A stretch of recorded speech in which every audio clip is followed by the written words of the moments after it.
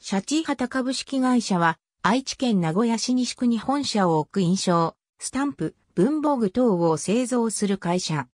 1965年に、シャチハタ工業株式会社が、インキ浸透印の開発に成功し市場に広く普及、インキ浸透印の最大手に成長した。このことから、シャチハタがインキ浸透印の代名詞となった。正式な商品名は、X スタンパーである。愛知万博のパビリオン、夢見る、山の夜バージョン当初は、日の丸旗がマークだった。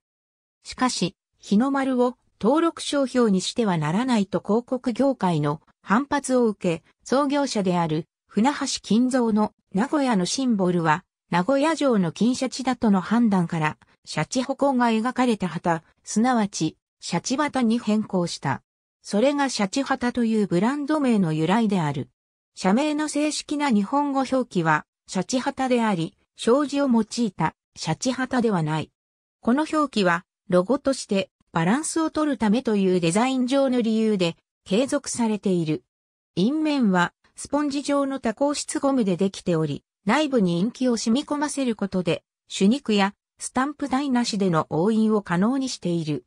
製法は、ゴム、カーボン、食塩を練り込んだ原料を型に詰めて成形し、車熟することで内部の食塩を溶かし、多孔質のスポンジ状印面を作る。浸透印タイプの印象は、公文書などへの使用は認められていないことが多い。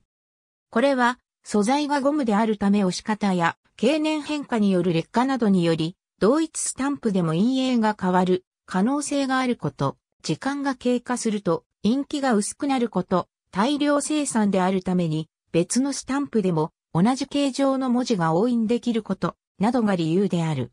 代表的な使用例としては、社内での確認印や宅配便の受け取り印、認め印などである。気象名字の印の特注もできる。スタンプ台。ありがとうございます。